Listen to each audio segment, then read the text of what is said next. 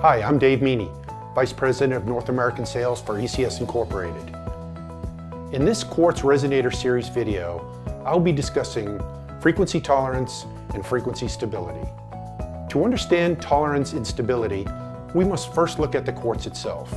Because the density and structure of quartz varies with temperature, you will see frequency deviations as the temperature changes. By cutting the quartz at different angles, you can optimize the quartz blank to perform better in a specific application.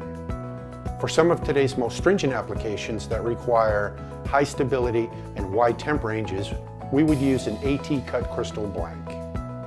The frequency tolerance of a crystal is defined as the allowable deviation from the specified frequency when measured at 25 degrees Celsius or room temperature.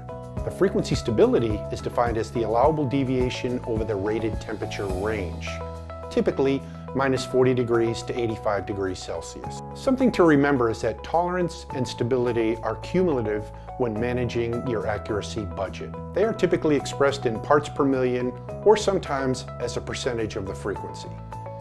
For instance, a crystal may be specified as having a frequency tolerance of plus and minus 50 parts per million at 25 degrees Celsius and a frequency stability of plus or minus 50 parts per million over a specified operating temperature.